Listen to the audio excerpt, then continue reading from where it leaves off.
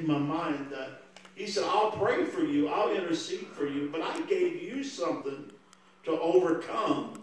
I gave you I gave you something that you can lay hands on the sick and they'll recover.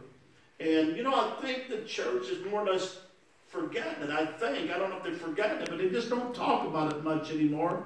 And just for a few moments, I'm going to talk about what the Holy Spirit laid on my heart, and then I'm going to give you a testimony about it. Go to Acts chapter 1, verse 5. He said, For John truly baptized with water, but you shall be baptized with the Holy Spirit not many days hence. Hallelujah. When there, when they therefore were come together, they asked him, saying, Lord, will you at this time restore again the kingdom to Israel? And he said unto them, It is not for you to know the time or the season which the Father has put in his own power. But look at verse 8. But he said, There is one thing that I'm going to share with you. He told his disciples, and he's sharing with us tonight, this right here. This is what God has given us, but you shall receive power. Yes. Yes. Yes.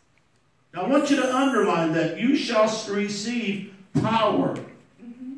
Now, it's not just a, a, a, human power. It's not a Superman strength. It goes beyond that. This is a miracle working power that Jesus is talking about here.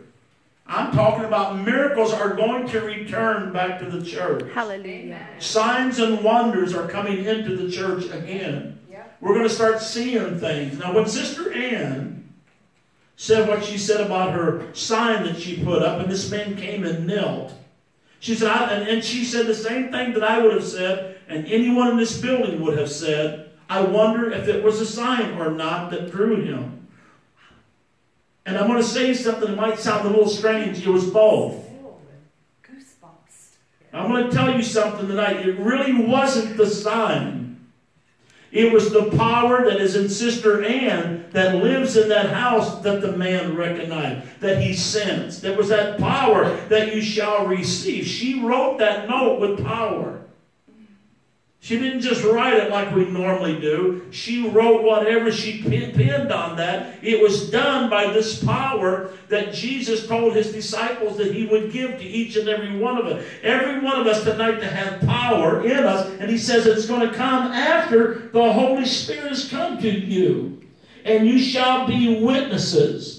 Now, a lot of people say right there with this power, we're going to go out, we're going to minister, we're going to preach, we're going to teach. That's really not what that witness right there really means. It really means here that it's not, it doesn't really say you're going to go get a lot of souls, but what it's saying here is we are going to give our life as a witness for Him.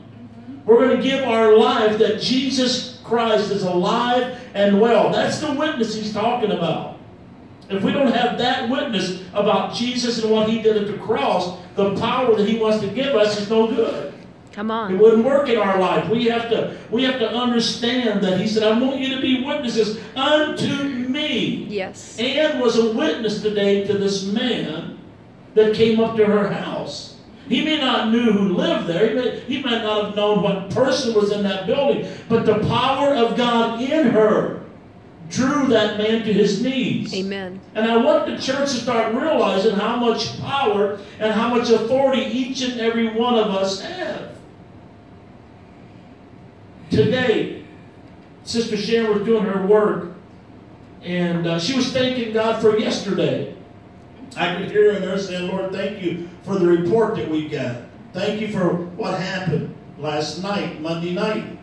Monday night, I was sitting there on the couch, and the phone rang, and it was my pastor. And he said him and Sister Joanne were resting. They were watching television, or when Jimmy Swaggart was on, and he was singing Camel Train. And he says that we will immediately jump to our feet to call you because this is the word of the Lord that came to us for you. And they used that power that Jesus is talking about here, and he picked that phone up, and I could sense that something was up. I could sense in my spirit that Pastor had a powerful word from the Holy Spirit for me.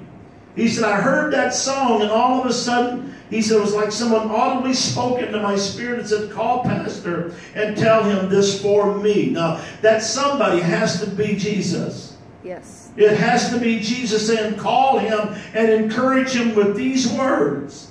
And he said, Here it is. I'm giving it to you. What you do with it, you're responsible now. It's out of my court. And he began to share with me. He said, You know what? He said, The Lord spoke to me about the camel train. And he said, Call Pastor and tell him that today, Monday, that his camel train has come in. And he says, So I'm telling you that. And I said, Well, I'll receive it. Hallelujah. And I thank you for being obedient, but I'm not done. He said, He kept dumping into my spirit about this camel train. And he said, Tell Pastor that not only has his camel train come in Monday, but Tuesday Hallelujah. they will begin to unload the camel train. the blessings will begin to unload on him. Hallelujah. And I received that, uh, Brother Colby. I received what Pastor told me. And all of a sudden it hit me. The power that is in me to receive that and accept that. The power within me. I can have, I can receive what I desire to receive. I can use what God has given me because He has given me strength. He has given me power. Each and every one of us have it tonight. Yes. And I never thought about it much until Tuesday when I woke up and, I, and, and things began to change Tuesday. Phone calls begin to come in. Things that I've been waiting on begin to come in. Little, little bitty things begin to come in and doors begin to open from that. And I realized, God, I have the power to open these things. I have the power in me through your Holy Spirit. Yes. And I began to think about that power. What kind of power is it? It's the kind of power that Sister Ann says caused a man to come to his knees and look at that sign. We, we may never know what that man received Exactly. from that. But I believe in my spirit, the Holy Spirit drew him to that sign. And I believe the Holy Spirit spoke to him without anybody being there. And I believe in my heart he gave his heart and life to God. Hallelujah. When power in us is moving and flowing, something happens, church. Yes. Something happens. We have overlooked this for too many years. We have overlooked what God has invested into the church. Number one, He's invested His Son. That's the greatest investment He's ever made. But number two, He's not only invested His Son, but He's invested His power in us to lay hands on the sick and they'll recover. That's got to return back to the church. Yes. Yes.